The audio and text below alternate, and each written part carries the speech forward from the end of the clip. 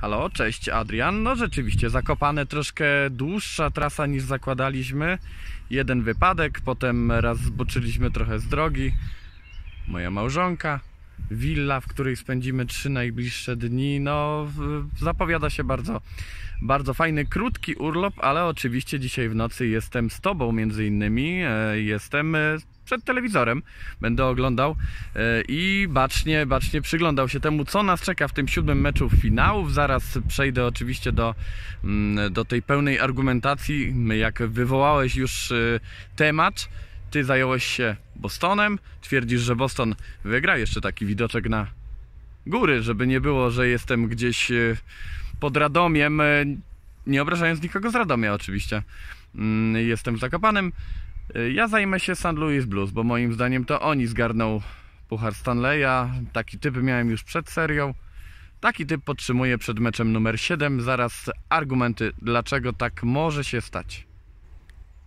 Teraz już e, na bardziej statycznym tle, bez ruszania się, nie ma już co pokazywać. Wszystko, co najlepsze zostało pokazane, czyli widoki moja małżonka oczywiście. E, Do meritum, czyli do siódmego meczu finałów. Adrian zrobił ładny zarys, trochę historyczny, trochę taki wstępniak. E, To prawda, to nie jest żaden wielki rarytas, ale jednak siódme mecze w finałach Pucharu Stanleya zdarzają się rzadko. Od 2007 roku mieliśmy je tylko dwukrotnie, licząc jeszcze od lokautu, pełnego lokautu 2004-2005 czterokrotnie.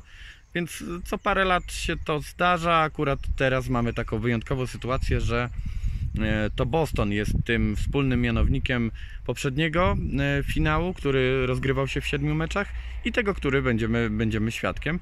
E, Czyli dwa razy Boston. Jest szerokie grono zawodników, które brało udział wtedy w tamtym meczu. Wszystkich ich e, na pewno każdy fan jest w stanie wymienić e, z imienia i nazwiska od razu, więc wspominę e, zupełnie co to za grupa za zawodników, bo to tak zwany kręgosłup, a więc ci zawodnicy doświadczeni, ci z pierwszych stron gazet.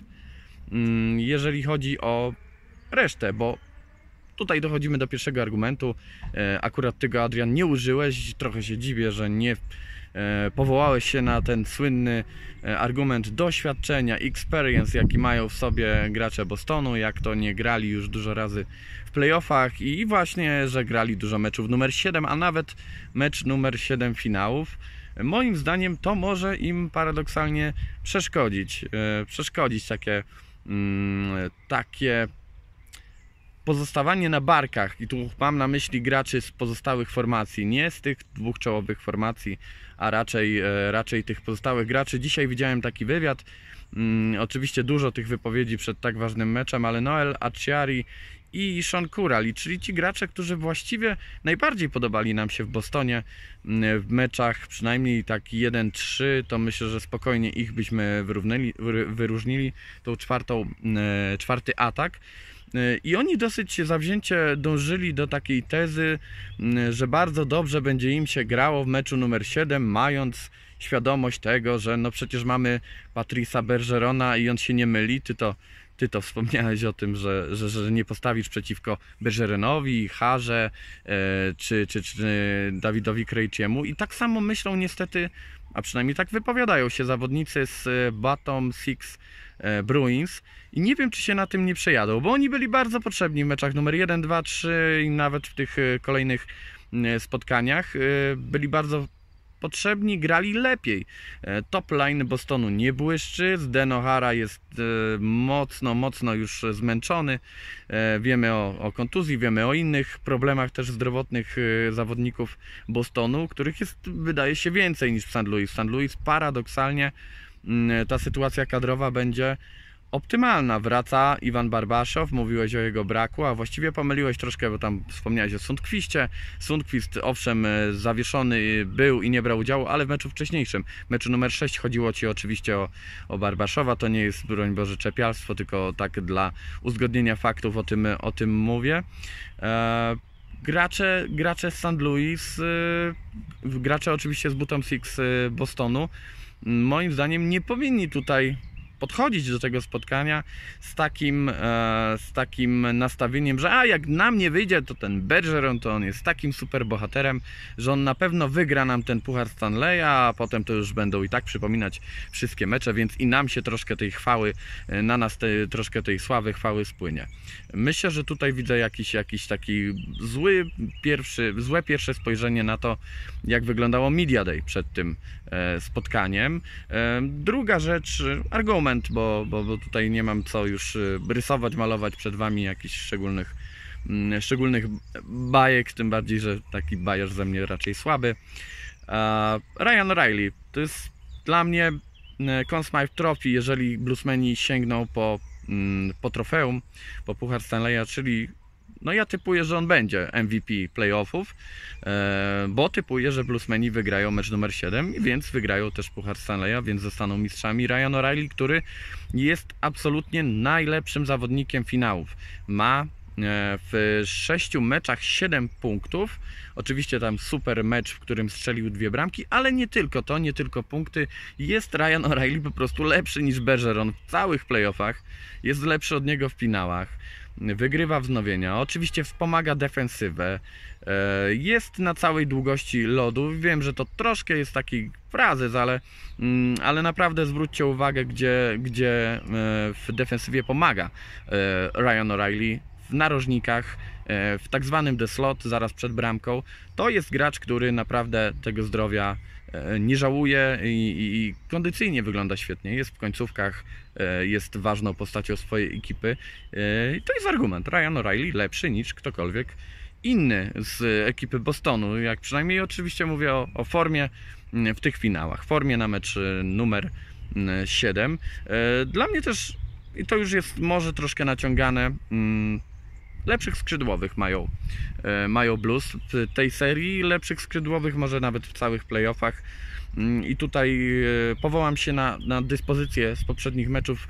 E, David Perron, mm, punkt w meczu numer 5, punkt w meczu numer 6. No to zupełnie różne spotkania, ale jednak Konstans jest zachowany. Ten Perron z doświadczeniem z poprzedniego roku z Vegas jest ważną postacią. Odblokował się mm, w tych finałach i sądzę, że może odegrać swoją no, może dużą rolę w meczu numer 7. E, Coś bardziej kontrowersyjnego, e, czyli mm, wyróżnienie Patryka Maruna.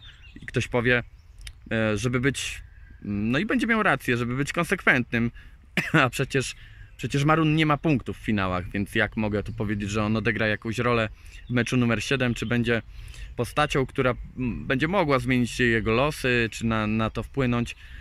Cóż, y, najlepszy chyba zawodnik Blues, jeżeli chodzi o mecze numer 7. Przypominam oczywiście spotkanie z Dallas. e, Gol, który zakończył tamtą serię w podwójnej dogrywce. W ogóle to zagrał mm, Marun w czterech meczach numer 7. Zdobył w nich dwa punkty. To nie jest jakieś oszałamiające liczby, to nie są.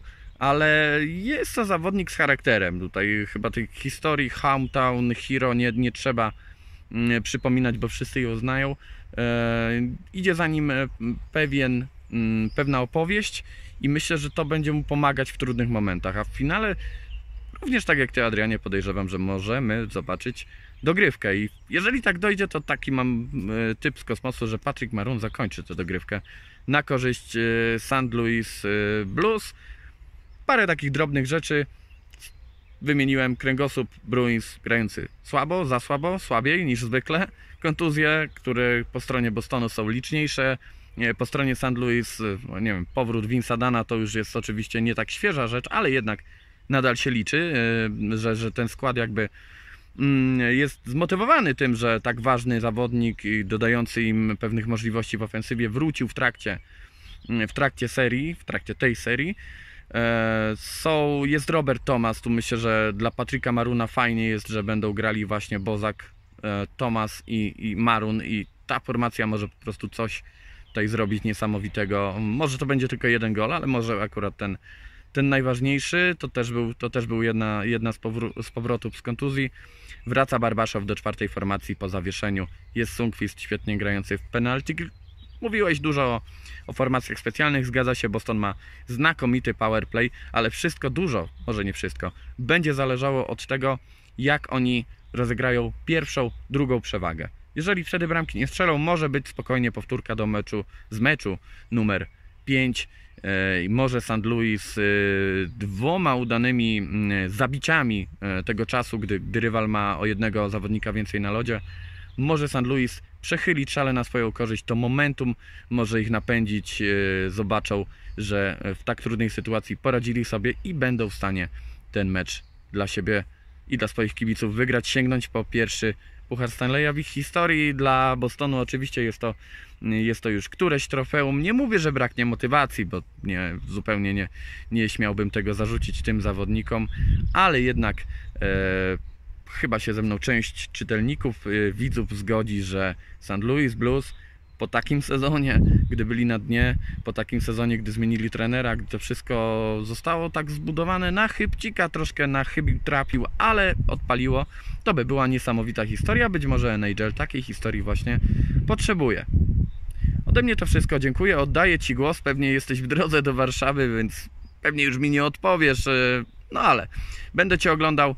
E, Kończymy ten sezon z pompą, mam, mam nadzieję, czyli świetnym meczem. Pozdrawiam, trzymajcie się.